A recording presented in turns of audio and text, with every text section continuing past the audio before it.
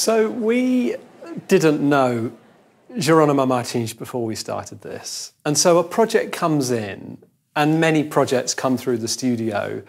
And we met Sarah and Fernando and Rita and the team. And they told us the story of a company whose roots lie 225 years ago with an entrepreneur who opens a store, a company that has its roots in the community, that believes in people, that believes in bringing food to people, and that that spirit has grown around the world.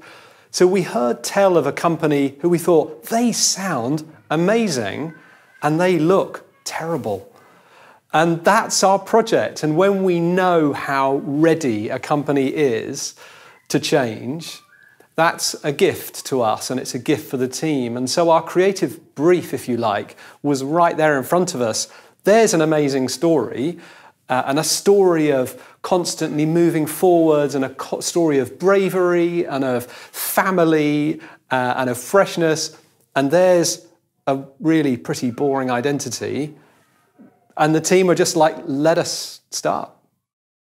In some brand identities, the whole system is really important and everything can work together. But with a group like this, the logo appears on its own on the side of the building and on the side of a truck and many places by itself. The logo itself had to tell a part of that story, an important part of that story right from the beginning.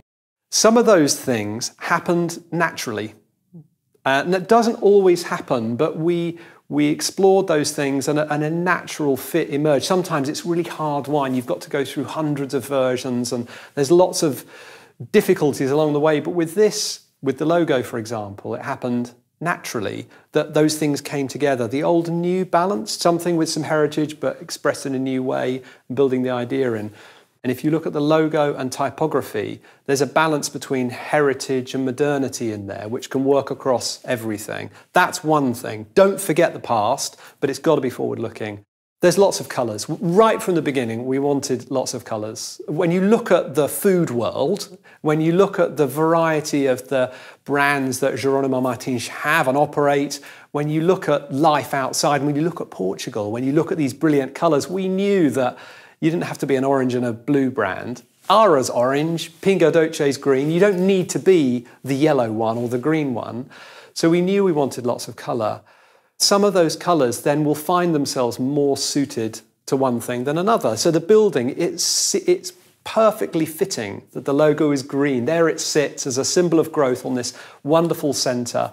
More corporate applications, the dark blue might be used, and on the um, on social media and on films, we might find that other colours come to the fore there. So it gives, it gives you the flexibility to do all of those things. Some will be more suited to others. And I think already we're finding where those sort of fit, that being a good example, a big 10 metre green logo. The imagery, it's like a, a window on the world, and every time you look through the window, it's a different view through there. It's this amazing centre, or it's, it's a supermarket, it's a family eating, it's food production.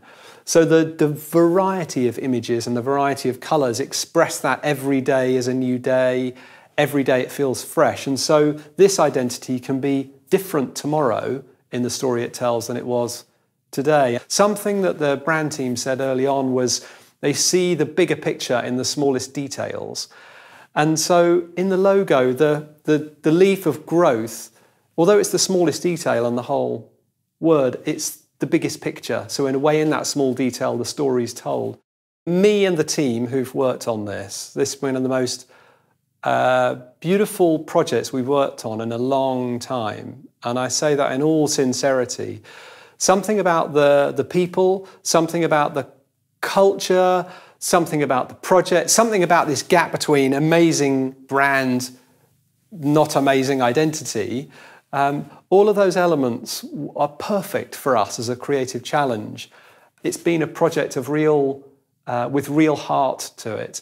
And it doesn't matter whether it's a Portuguese food group or whether it's a project in the States or something, it's been one of those occasions where everything felt right and the team could feel that. When I saw it on the building, that's the first time I've seen it in the real world of Jerónimo Martins, actually being a part of your own world, it felt right. It felt like it's always been on that building. in the best way. And I don't mean it's like 10 years old and it looks tired.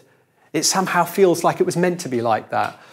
And so, in that sense, I think it does. And that doesn't always happen where it was just, it feels completely uh, right for its uses.